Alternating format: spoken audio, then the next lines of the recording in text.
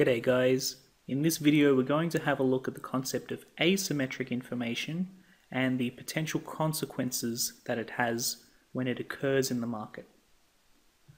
So asymmetric information, as the name sort of implies, is when buyers and sellers don't have the same amount of information. One has more than the other.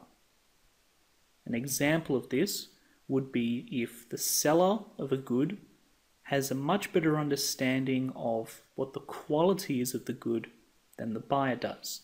Now, this example is something that we'll explore in more detail in the next video, so we won't worry about this too much for now.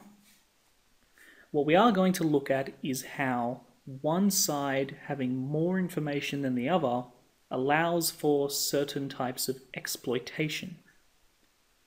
So we see that there are two forms of what we can call opportunistic behavior, where you see an opportunity to unfairly profit from the other party's lack of information.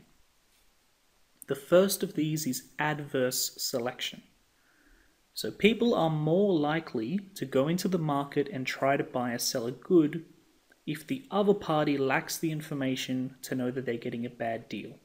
You basically see an opportunity to make an excessively high surplus by entering into a transaction where the other person's getting ripped off and they simply don't realize they're getting ripped off because they don't have the same information that you do.